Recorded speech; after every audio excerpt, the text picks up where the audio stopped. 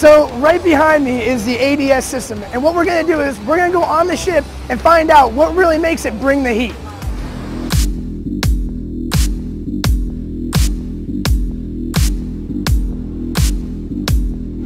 So this is where the ADS system is controlled. It's very cramped, small, almost like my living quarters in the barracks. Just kidding. But for real, this is very, very cramped. So the guy's in here, he's controlling the monitors. It's got it pinpointed all the way down to small little crosshairs, and it's really impressive.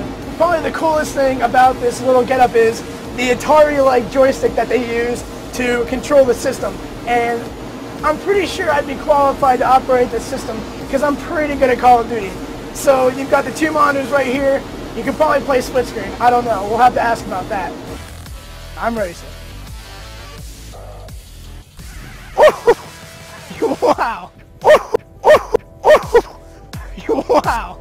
So, sir, I've seen this operated on one person, but how does it measure up against a crowd of people? You can use it in a crowd to move a crowd from one area to the other. That's the beauty of the system. You can actually sweep from left to right, start on one end, and you can get them in the direction that you want to go. So it's very uh, useful to the commander, moving people in a specific direction. So it's a very effective weapon that has a very broad range of, of things they can do, and at the same time, it's non-lethal. It's not going to kill Absolutely. you. So for the people that think, oh, I'm going to be roasted alive, as soon as you get out of the heat, your skin's fine, you feel normal. And That's correct. I, I really like that, that about the system. Yes. Some people think that the Marine Corps is all about dropping bodies, but that's just not true. In fact, the Commandant of the Marine Corps, General James Amos, is the Department of Defense's executive agent for non-lethal weapons. Non-lethal weapons are the future of keeping our service members safe.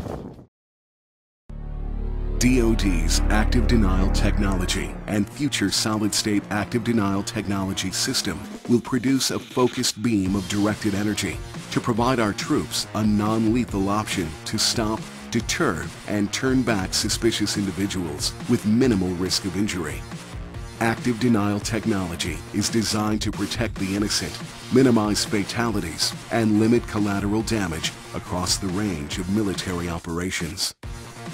Active denial technology uses radio frequency millimeter waves at a frequency of 95 gigahertz. Traveling at the speed of light, the millimeter wave directed energy engages the subject, penetrating the skin to a depth of only about 1 64th of an inch. The beam produces an intolerable heating sensation, compelling the targeted individual to instinctively move. For the military, active denial technology can be used for both force application and force protection missions. Applications include crowd control, perimeter security, patrol and convoy protection, and other defensive and offensive operations from both fixed site or mobile platforms. While the active denial system advanced concept technology demonstration succeeded in demonstrating a large-scale version of active denial technology, a smaller scale, more mobile version is being developed by the U.S. Army and the DoD's non-lethal weapons program utilizing solid-state technology. This system will demonstrate and prove out the critical technologies for a follow-on tactical system, which will be an adjunct system that can be installed on a range of tactical or support vehicles.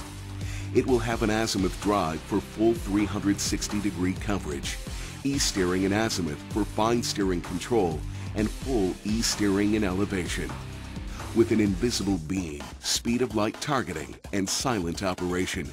It can be used in a wide range of operations, such as enhanced combat mobility in dense urban areas, where it quickly and safely moves civilians obstructing vehicle mobility. Or it can be used to safely deter unarmed but suspicious civilians observing U.S. forces.